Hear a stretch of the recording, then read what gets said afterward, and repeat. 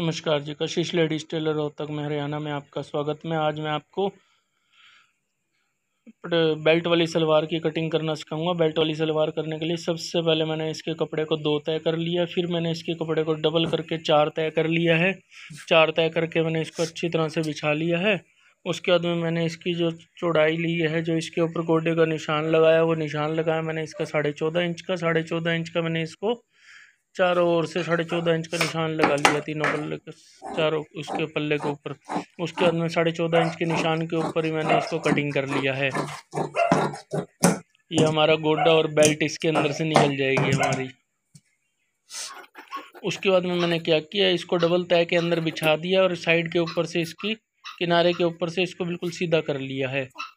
उसके बाद में मैंने क्या किया, इसके अंदर हमने बेल्ट वाली कोई भी सलवार लेनी है तो पाँच इंच का ऊपर से छोड़ देना और जितनी लंबाई है उतनी ले लेनी है। तो इसकी लंबाई साढ़े छत्तीस इंच की है तो मैंने साढ़े छत्तीस इंच की ले ली। उसके बाद में हमने क्या करना है, इसके अंदर म्यानी भी डालनी है तो म्यानी डालने के लिए मैंने इसका जो आसन रखा है, वो आसन रखा है मैंने साढ़े बारह या तेरह इंच का। तो आप कितना भी रख सकते हो, चौदह इंच का रख सकते हो, अगर आपके पास में म्यानी का कपड़ा ज़्यादा बचता है तो। उसके बाद में मैंने इसका नीचे से कुंदा काट लिया है, दो ढाई इंच का। उसके बाद में मैंने इसको यहाँ से कट कर दिया है तेरह इंच के ऊपर।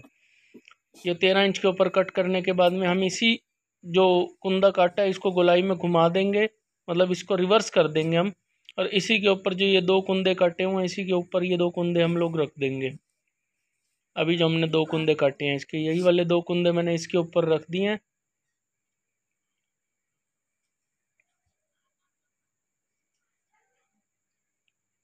उसके बाद में हम लोग क्या करेंगे कि इसी कुंदों के ऊपर बराबर बराबर से हम इसको किनारे की कैंची लगा, कैंची से कटिंग करते जाएँगे हम इसको सीज़र से।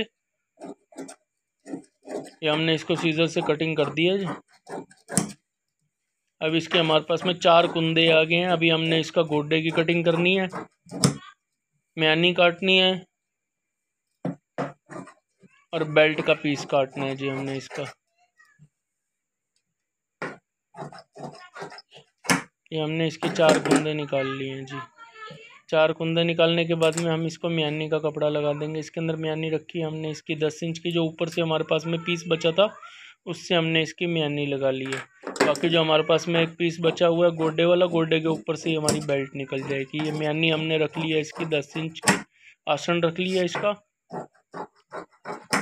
ये हमने इसकी म्यानी काट दिया इससे हमारी जो सलवार की जो ब्रॉडनेस है, वो और ज़्यादा बढ़ जाएगी। इसके अंदर जो प्लेटें हैं, उसकी वैल्यू बढ़ जाएगी तो सलवार और ज़्यादा हैवी नज़र आएगी हमारे को ये। उसके बाद में हम इसको यहाँ पर लिख भी सकते हैं कि म्यानी है, जिससे सलवार बनाने वाले कारीगर को पता लगे। उसके बाद में जो हमने गोडा काटा था, गोडे के हमने उसकी डबल तय कर ली है। सेम प्रोसीजर हमने करना है, इसको क्या करना है? हमने यहाँ से ऊपर से इसके किसी चटाई करके बिल्कुल स्ट्रेट कर देना है।